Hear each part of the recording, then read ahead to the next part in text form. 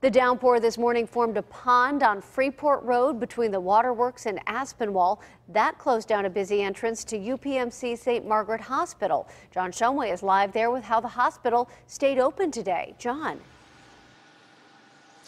Yeah, they stayed open because they could still accept people coming into the parking lot off Delafield Avenue. But here on Freeport Road, in fact, the police just moved back their barricade uh, to the entrance to the hospital a little bit ago.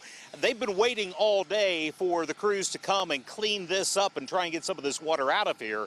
Uh, they don't want traffic on it because mud is just like ice for the drivers. Just one of the issues in this area of the Allegheny Valley.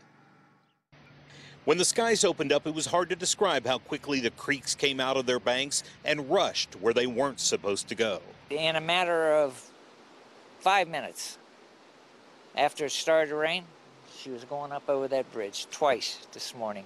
Kittanning Pike was quickly inundated as Township Manager Julie Yakubik recorded on her phone.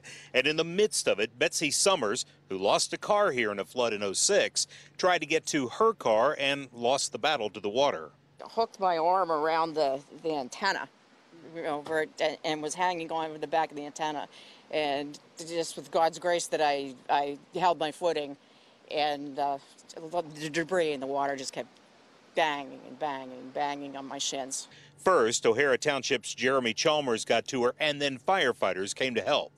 They were angels from heaven. I was I was so relieved because uh, I, I thought I was going to die. Those firefighters spent the rest of the day pumping out the basements of homes like on Marjorie Lane.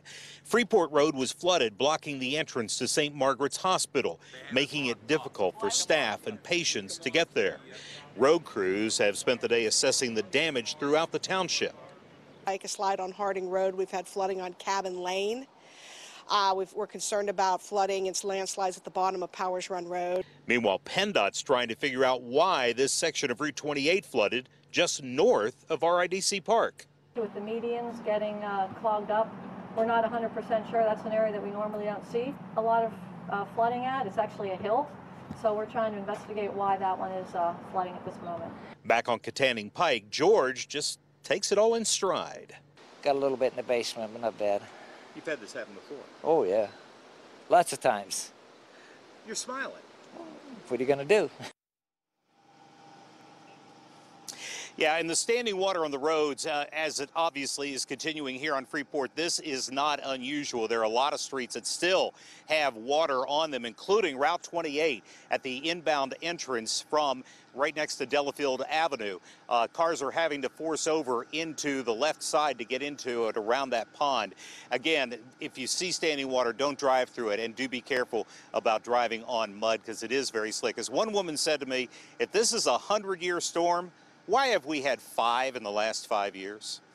Live in O'Hara Township, John Shumway, KDKA News. Yeah.